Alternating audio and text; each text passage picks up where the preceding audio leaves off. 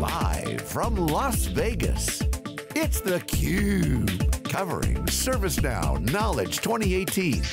Brought to you by ServiceNow. Welcome back to ServiceNow Knowledge 18. This is theCUBE's live coverage. We are the leader in live technology coverage. We extract the signal from the noise. I'm Rebecca Knight, your host, along with my co-host, Dave Vellante. We've got a great panel right now. We have Andrew Wilson, who is the CIO of Accenture, and Ellyn Shook, who is the Chief Leadership and Human Resources Officer at Accenture. Thanks so much for coming on the show. Thanks for having us. Hello, great to be back. So Good to see you again. Before the cameras were rolling, we were talking about people-driven change. But Accenture, not, not but, and Accenture is a huge organization, yeah. 400,000 plus individuals working around the world. Yeah. How do you drive change in such a large and dispersed organization? Well, I think the most important thing is that change isn't human driven, but humans need to be at the center of all change. And I think that's why Andrew and I show up in a lot of places together, because we do use technology to elevate the human experience at Accenture.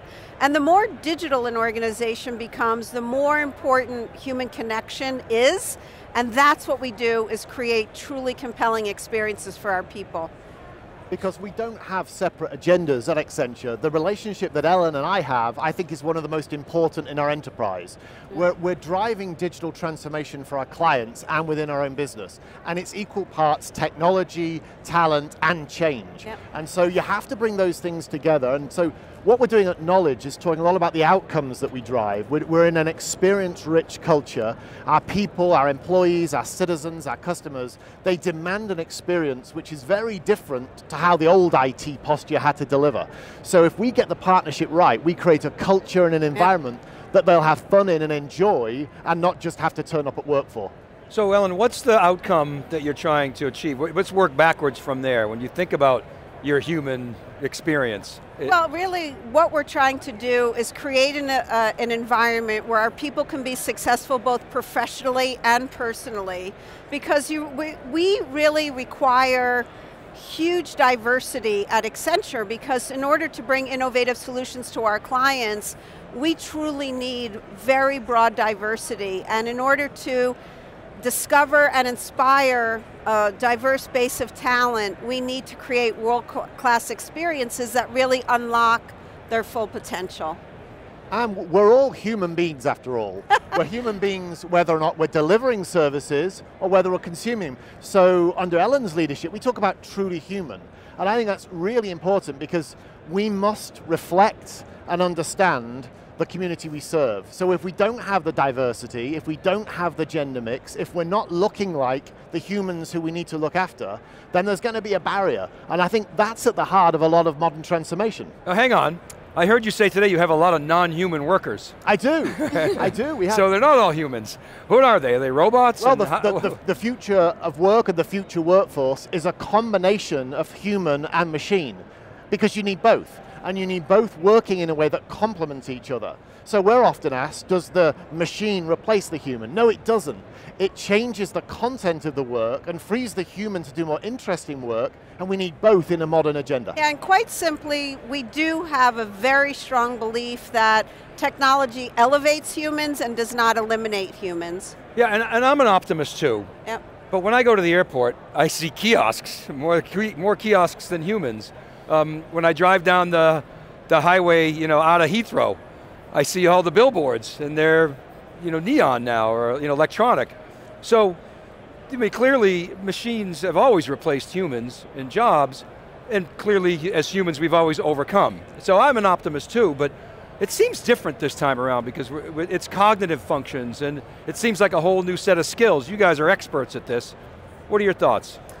I think we are building a set of skills in the new that's absolutely essential for the modern enterprise. So when you drive down the road from Heathrow, you don't see the data scientists, you don't see the design thinkers, you don't see the humans that are listening to and talking with their customers and surfacing insights. We think about applying intelligence in the enterprise. Now, the humans wouldn't have time to do that if they had to deal with all the old transactions. Free them up from that, and then they can do all of this interesting work, and that's the future of work. One of the things you were talking about on the main stage, Andrew, was about the, the, changing role of the CIO, and you said, I actually think of myself as a chief experience officer. Can you, can you riff on that a little bit? Well, I think Ellyn and I both care about the experience of all of our employees, all of our humans, all of our citizens, and all of our customers and clients as well. So the days of operating in a data center, of building systems, are long gone. Accenture's now 90% in the cloud, and I have to think about services which are really flexible, and agile, that deliver outcomes. So if my customers are not enjoying the experience and having fun and feeling at home, they're going to walk away. So I'm, I care much more, and that's why I think I lead with experience as the Chief Experience Officer. So I love so the- one, oh, one just to bring that down to an example, we hire about 100,000 people a year. And if you think of kind of the old paradigm, when someone starts at your company, they have to get assigned a desk, a computer, a security badge, you know, get onto payroll. And all of that historically has been done very siloed, function by function. What Andrew and I are trying to create is an exciting experience when you show up for work on the first day, where all of that is frictionless. All of that process goes to the backstage and how you feel about showing up as a new employee on your first day is just a glorious experience. So we always talk about people, process, and technology. As a CIO, you understand well the technology it will continue to progress. It's the people and process that are hard part. But can you actually achieve that vision without a technology platform that is flexible, that enables that type of work environment? The technology problem is really what is the enabler of the experiences we're trying to create. But the most important thing that the technology does for us is enables us to create truly world-class human experiences. Before the cameras are rolling, you were talking about how you have five generations yeah. of, of workers at Accenture. How do you cater to them. I mean, as you said, you want coming to work every day, whether it's your first day or your, you know, you've been there for 20 years to be a glorious experience. How do you make sure you are taking this empathetic, people-centered approach for, for each of these different kinds of workers? Yeah, I, I, I, call it with my team sweating the small stuff, and that's not worrying about bureaucracy and process, that's worrying about the individual. So we do have five generations working side by side, both serving our clients and serving our business.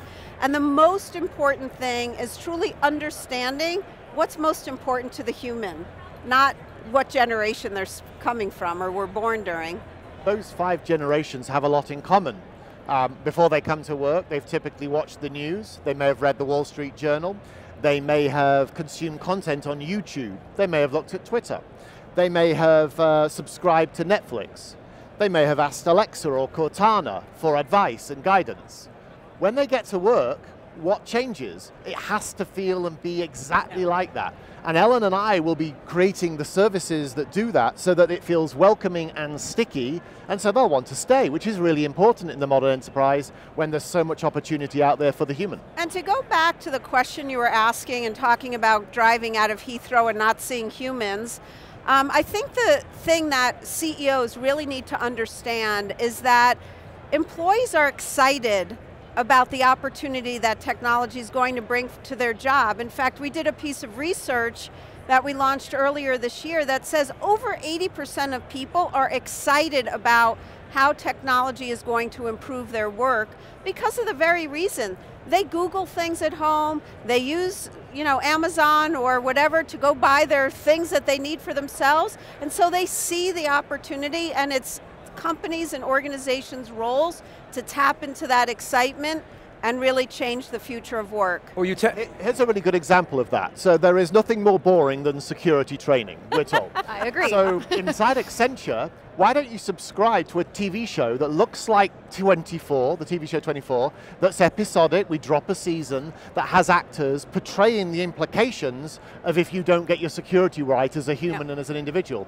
It gets great ratings, great viewing figures. So it's ratings and viewing figures that tell us we're communicating with our employees. That's what being in the new is about. I mean, that's really innovative. I was going to ask you about training and education because the example of Heathrow, you don't see the data scientist, the, the person who's putting up you know, paper and glue is, doesn't have the skill sets of that data scientist. So I know Accenture big on training, education, you guys invest a lot of there. Yep.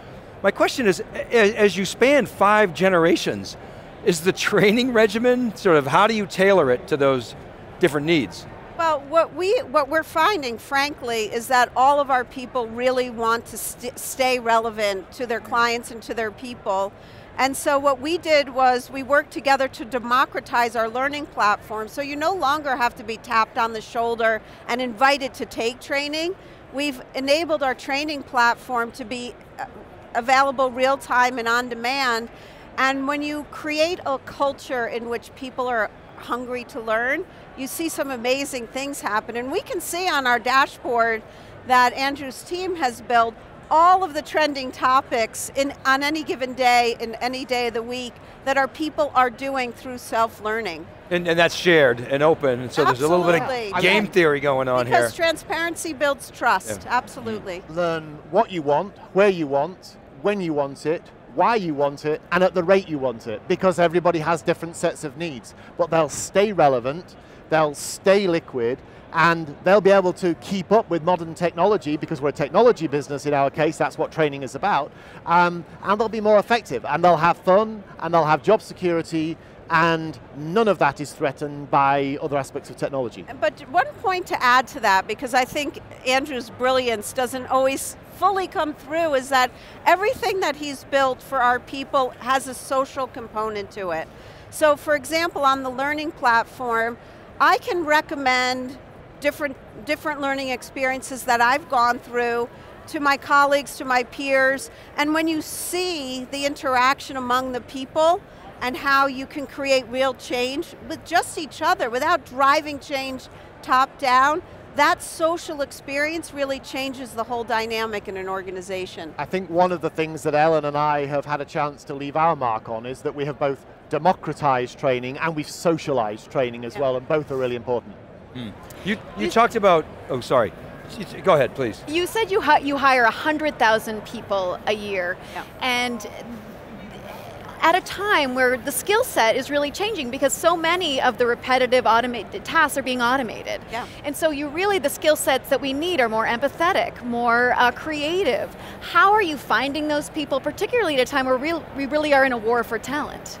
Now we talk about um, discovering new sources of talent rather than attracting uh, talent to us. So we've really try to go digital where the people are, right? So that's where people are, that's where we go look for them. But the most important thing is that we are investing in new skilling our, our people. So we're not just hiring people in with new skills, we're giving all of the 442,000 humans at Accenture the opportunity to continue to keep themselves relevant. So rather than coders and testers, we now have data scientists. And I do think we have new talent sources inside and outside the company. So I'm delighted to say that 54% of my team in China happen to be ladies, and there's a really good, solid data science gene in them, which is helping us with our analytics and surfacing insights in a way that my organization didn't used to do. So we've tapped into new talent. Many of them we already had, it's just how you free them to do the job that they are very, very capable of doing. Well, Andrew, Ellyn, thank you so much for coming on theCUBE. It was great to have you here. Thanks for having us. Thanks you guys. Great to see you guys.